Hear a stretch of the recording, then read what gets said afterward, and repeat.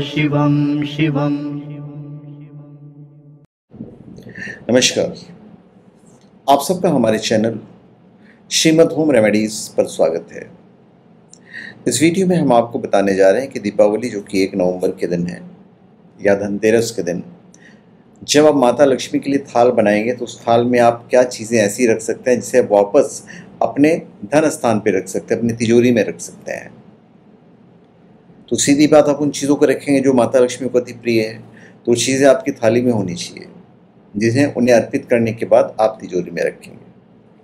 बताने से पहले मैं ये बता दूँ कि आप कोई भी स्पिरिचुअल प्रोडक्ट चाहे कुछ भी हो, रुद्राक्ष से लेकर रत्न तक या जो भी दीपावली, दशहरा, कभी भी किसी चीज़ का उपयोग होता हो, वो आप शिवागो डॉट कॉम या ओमजा डॉट कॉम से प्राप्त कर सकते हैं, बिल्कुल जेन्यून और ऑथेंटिक तो देखिए, जब माता लक्ष्मी की जब पूजा का थाल बनाएँगे तो जो चीज़ें रहेंगी वो तो रहेंगी, जो अपने हिसाब से रहेंगे, पर उसमें आप अच्छे वाले, बड़े साइज़ के गोमती चक्र रखें।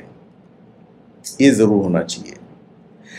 पूजा के बाद आप गोमती चक्र को तिजोरी में रख सकते हैं धन स्थान पर रख सकते हैं। आप यदि बिज़नेस करते हैं तो अपने कैश काउंटर में रख सकते हैं। इसी प्रकार आप हल्दी की गांठ, पीली कौड़ियाँ, एकाक्षी नारियल पूजन में रखिए। उसके बाद आप उसे उठाकर तिजोरी में रख सकते हैं।